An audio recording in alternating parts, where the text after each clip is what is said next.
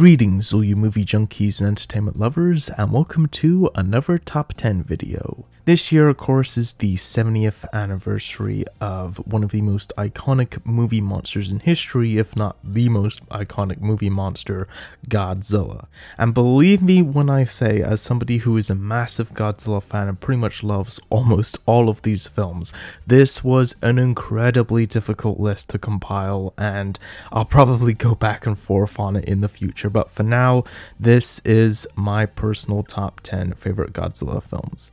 So coming in at number 10 is the original 1954 film Godzilla, also known as Godzilla King of the Monsters if you go by the American cut. And this is specifically the original Japanese version I'm referring to, even though I do really get a kick out of watching the Raymond Burr version of the film. Uh, if I am really being honest, I, I do think that this film is just ever so slightly overrated but it is definitely a great film and does honestly still hold up pretty well and was definitely ahead of its time especially for you know 1954 standards can't really say much about this film that hasn't been said already a thousand times before but certainly the way that they present the dread of the destruction that is caused by Godzilla was pretty revolutionary. Uh, the way that they adapted it in this film, and a lot of it still is really effective. And one of the most standout scenes of the film to me is just that scene where it's literally just this woman who's holding her two kids as the destruction is going on around her, and she's just praying and praying that they'll make it out and survive. And again, for 1954, that's pretty pretty dark stuff right there. And it is just you know an iconic you know monster movie. So that's the original Godzilla at number 10. And then coming in at number 9 is Godzilla Against Mechagodzilla. This probably is, I think, my personal favorite of all the Mechagodzilla films. And I think that this, to me, I think probably is definitely one of the strongest of the Millennium era films soundtrack is probably one of my favorites of any Godzilla movie. A lot of the miniature and suit effects are great. It has some of, I think, the best fighting sequences in any of the Godzilla films. Uh, I just think it's a really great film overall, and it does have what, to me, is personally, I think, the best version of Mechagodzilla, and I really love the design of it.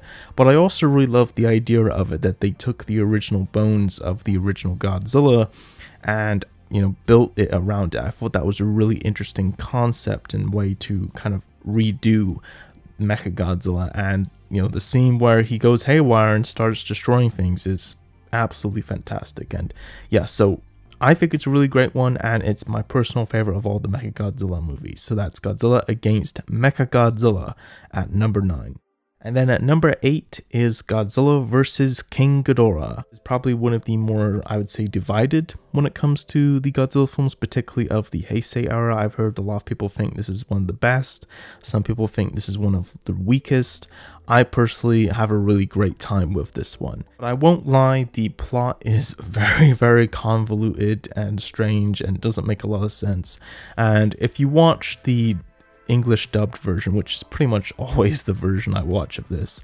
It's pretty laughable, some of the dubbing and stuff, but to me, that that's what makes it enjoyable. What really stands out about this one to me, though, are really just the effects. And honestly, the, the miniature and suit effects for the Godzilla movies, particularly, you know, the original Godzilla films, is a big part of what makes them enjoyable to me and what makes me want to revisit them. And for me, I think this has some of the best miniature effects that I've seen in any movie ever. I think they're absolutely fantastic. Just the size of some of these miniatures are incredible, especially combined with the, you know, really just top-notch, you know, fight fighting sequences. It's it's an absolute blast and would certainly define kind of the look and feel of the Heisei era moving forward, which for a lot of people is their favorite era. I kind of tend to agree. I think the Heisei era is pretty awesome and just I love how practical the Heisei era was, especially in a time when a lot of movies were starting to switch to more digital effects, even though there are certainly digital effects in the Heisei era films. So yeah, I think it's a great movie. I loved it a lot. So that's Godzilla vs. King Ghidorah at number 8. Then at number 7 we have Godzilla vs. Biollante. And this, of course, was the second film in the Godzilla Heisei era. I'll be honest, I do think that the plot in this one I think is not the strongest. I think there's certain elements that don't work as well. I don't think they did the best job of tying in the plot of what was going on with the Biollante and that aspect with all the stuff that's going on with Godzilla. But what's really great about this film and part of the reason why it's on the list to me is because it very much is a direct sequel to Godzilla 1984 or The Return of Godzilla big reason why it's on the list for me is just simply because of that aspect. Start to introduce certain characters and themes and elements that will be utilized in much of the Heisei era films.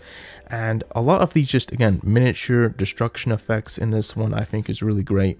But I also really just dig the tone of this one. This one just has a really cool dark tone to it that's again very much in line with the return of Godzilla. I think it's a really great film. You know Biollante is just you know an awesome monster design and that final battle is great. And yeah it's just Great movies. That's Godzilla vs. Biollante at number 7. At number 6, we've got to have some more of the Showa era on this list, so we have Destroy All Monsters. When I, whenever I'm in a Showa era Godzilla mood, this kind of has become my go-to film, and it's not one that you know everybody universally loves. Some people, you know, don't really dig it as much. For me, I think it's just awesome. I, I love the plot of it. I love how science fiction it gets. And I just love how many of the monsters are in it. It just feels like it, it very much is kind of like the greatest hits, if you will, of the uh, Showa era films. And I think it's just a blast from beginning to end. It's just great science fiction monster fun and pretty much has all the elements that I want from a Showa era Godzilla film, a traditional Showa era Godzilla film. So that's Destroy All Monsters at number 6. Number 5, we have Godzilla, Mothra, and King Ghidorah Giant Monsters All Out Attack, also known as GMK for short. Took some time and many re-watches for me to kind of come around to the what honestly I think is truly the greatness of this movie. And having watched it again not that long ago, I do think that this movie definitely does deserve the hype that it's gotten, particularly in more recent years, because it is just honestly a really cool, awesome, badass movie. It very much stands out amongst the Millennium era films as just being kind of its own solo, standalone story. There's a certain darkness to this one, where you really do kind of see a lot of people, you know, die and destruction and it's it's definitely is a lot darker and it also kind of has a bit of a dark sense of humor to it as well and it's it's definitely there's a lot of really great just sort of small moments in this one that I think kind of build and build up to what I think is just overall just a really awesome monster movie. I will say the one aspect of it that I'm not as big of a fan on is the design of Ghidorah. I think Ghidorah, just the way that they decided to execute Ghidorah in this one was a little bit different than the way that they had executed Ghidorah in the previous film, and because of that, it made Ghidorah kind of look more kind of slouchy and not as grand as he has been presented in many of the other films. So that's just one kind of slight nitpick for me, but the rest of the movie works enough to where I can kind of let that one go. So it's an awesome movie. So that's Godzilla, Mothra, and King Ghidorah, Giant Monsters, All Out Attack at number 5. At number four is Godzilla King of the Monsters. Really was a film that was made for the fans. And it's kind of ironic that this is the my favorite of the MonsterVerse movies when it was actually kind of the least successful box office wise. It was the one that got dismayed by the critics the most. It was the general audiences didn't get it.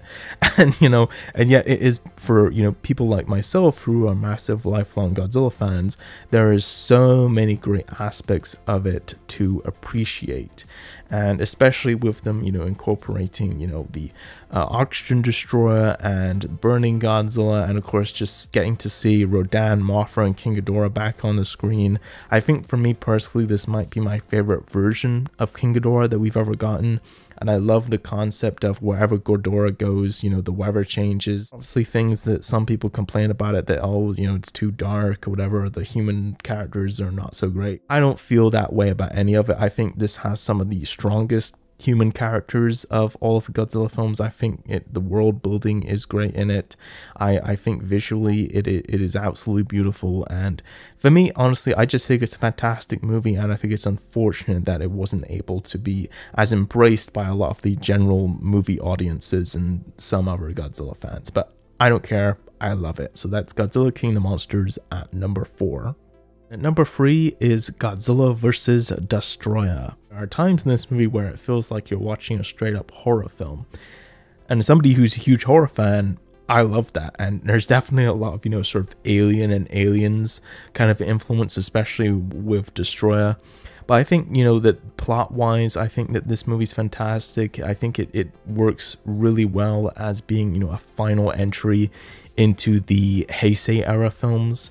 And if this was the final Godzilla movie, or at least the final Toho Godzilla movie, I think nobody would be complaining because it would have been a fantastic one for them to go out on. And it remains as I just being just such a fantastic, gripping film. And the ending of it is really emotional and works really well. It's it's the music in it is fantastic. Destoroyah is just one of the coolest monsters, movie monsters that I think has ever been put to screen. And I certainly hope that maybe in the MonsterVerse one day we get a new version of Destoroyah Hopefully, it's Godzilla vs. Destoroyah at number three. At number two, we have the most recent Toho Godzilla film, Godzilla Minus One, praised and talked about uh, to death pretty much in, recently, and rightfully so, because I think it's pretty much about as good as you could want a Godzilla movie to be. And it's the kind of film that transcends the genre that it is a film of. And whenever a film comes out and it's able to transcend the genre and able to go to places that other films in the genre that haven't gone before, it, it it's of course always going to stand out and this movie you know it's certainly a, it goes back to a lot of the you know original ideas of Godzilla, but it also goes in some new directions as well. And it's it's just a wonderful, well-told story. It has so many just jaw-dropping moments in it. A wonderful, wonderful example of taking something that's been done a million times before, but just finding a way to be true to the origins, but also do something new and do something that is honestly just incredibly impressive and beautiful and tragic. Really incredible experience and the kind of movie where if you've never seen any Godzilla film before, you can just watch this film and enjoy it on its own. It's just being a incredible film. And it's honestly it was very very close to putting it at number 1 but there's just one other film that, for me personally, uh, I just ever so slightly prefer. So that's Godzilla Minus One at number two. At number one, we have Godzilla 1984, also known as The Return of Godzilla. Of course, was the start of the incredible Heisei era. A lot of the things that people are praising Minus One for, rightfully so, were also, you know, done 40 years earlier with this movie. And this to me, I think just on a practical effects basis, compared to all of the Showa era and Heisei era and Millennium era films, I think is the best that we've ever gotten. I think it's the best uh, miniature effects we've ever gotten in a Godzilla film. I think the design of Godzilla, I think, is one of the best that we've ever had in a Godzilla movie. And the story of it and the way that it is framed, I think, really, really is interesting. And it really plays with a lot of the ideas of Godzilla. How much of it is about how does the world deal with something like Godzilla and the conflict that kind of comes from that. And it's a beautifully, beautifully directed film. And I think, honestly, as much as there are other Godzilla fans that praise this, I still don't think it quite gets the praise that it deserves. Phenomenal on so many aspects, and the introduction of Godzilla when they truly show you Godzilla for the first time is just absolutely brilliant and is so well executed and even 40 years later still works incredibly well. So it's a fantastic movie. It has easily some of my favorite visuals and effects and shots in any Godzilla film.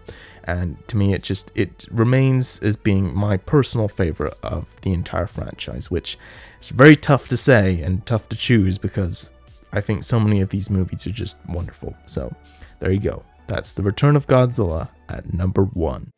Alright guys, there you go. That is my personal top 10 list of Godzilla movies. Feel free to jump in the comments down below and let me know what your top 10 favorite Godzilla movies are. And until next time, be sure to consume as much entertainment as humanly possible, and I will see you in the next video.